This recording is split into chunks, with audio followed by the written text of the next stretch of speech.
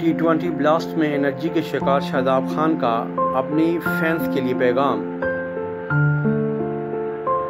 शादाब खान अपने debut match में पाकिस्तानी और शादाब खान समरसेट के खिलाफ मैच में एक कैच पकड़ने की कोशिश में साथी फील्डर नाथन मैक एंड्रयू के साथ इनकी शदीद टक्कर हो गई थी, जिसके बायस वो मैच से बाहर हो गए।